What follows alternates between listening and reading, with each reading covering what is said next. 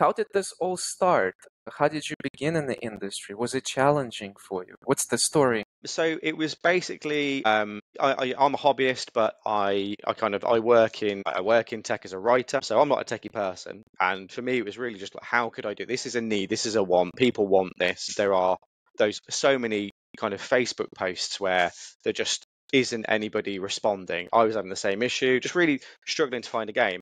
And so I thought, well, look, there must be an app. There must be a thing. I'm I'm the problem it probably exists. Um, and it turns out people had tried and people have kind of done sort of similar things where they tried to build it from scratch themselves, hadn't really taken off because it's difficult to do. And so I thought, well, look, okay, what would I do with my tech? You know, I work in tech, I know how tech people work.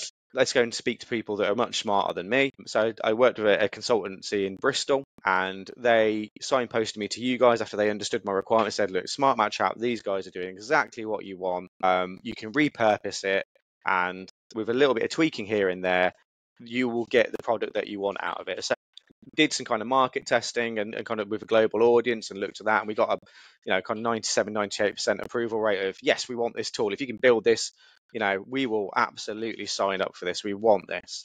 And it was it was kind of understanding the the the subscription side of it of look we're going to keep it around kind of the price of a cup of coffee want to be open and transparent with the people using it. I'm a hobbyist as well. There's more money to go and spend on new models and armies and games, which is what everybody wants. This shouldn't be, you know, costing the earth. And those are kind of the, some of the deciding factors of like how would we get people engaged. And you know, you don't want kind of astronomical costs involved in building something, which I think is what where people when they've been trying to do it themselves instead of using a knowledgeable and a third party like you guys who've already built done all the hard work that I can benefit from um, that's where I think a lot of people, where they tried to do it before, they had maybe stopped and they, kind of thought about it and gone, well, this isn't going to work. I can't do this on my own.